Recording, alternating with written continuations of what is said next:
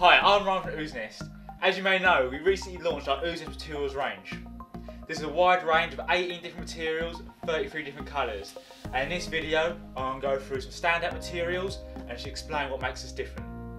So why buy from Ooznest Materials and not any other supplier? Well, the main reason being is we know 3D printing. As you can see in the background here, we run Prusa printers all day, every day. We're always tinkering printers and doing our own ideas, and we're all 3D printing enthusiasts. So if you buy from us, you know you're getting good customer support and we know our materials inside out.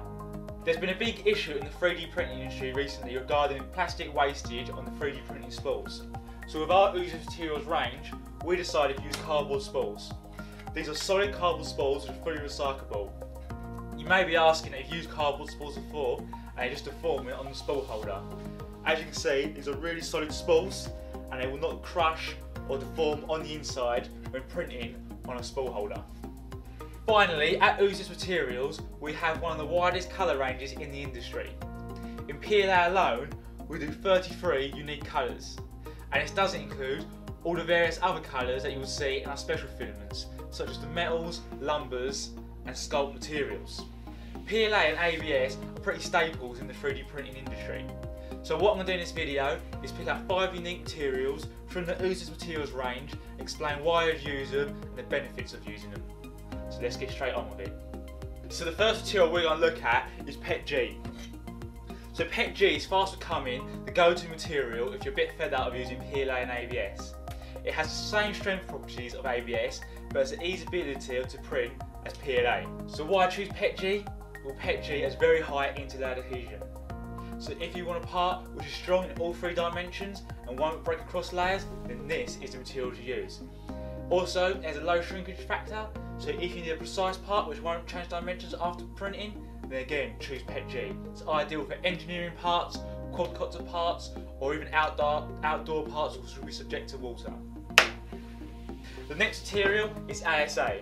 You've probably heard about ASA, but always wondered what makes it unique. Well, ASA has the same characteristics as ABS and also prints very similar to ABS. But what makes it unique is that it's ideal for outdoor applications. So it's water resistant, chemical resistant, and the colours won't discolour in UV rays. So if you're going to make a part which will be predominantly outdoors, ASA is the material to choose. So the third material is quite a new one to the industry and it's called polypropylene. So what we have named it is Poly-P for short. Poly-P has a massive 600% elongation and break. Also, it's very fatigue resistant, so it's ideal for straps and live hinges which will constantly be twisted and moved and you do not want them to deform or break. It is also a food safe material and has high optical clarity. This makes Poly-P ideal for any type of food container. Our next material is TPU Bend. TPU Bend is a flexible material and you're probably wondering what the TPU stands for. It stands for thermoplastic polyurethane. So what makes this different to our normal bend filament is that it's slightly harder, which makes it easier to print and more abrasive resistance. So it's ideal for prosthetics, tyres or anything else which you need that abrasive performance with. Also, being a little less flexible makes it a bit easier to print. So if you have a less than perfect extruder, can still print our TPU bend material. The final material I'm really excited to talk about is called PET Eco. So what makes PET Eco different is that it's manufactured from recycled bottles in Belgium. This, combined with our cardboard spools, makes for a fully recyclable 3D printed filament from start to finish. PET Eco is slightly more than PLA price wise, but less than ABS. It is also less than PETG.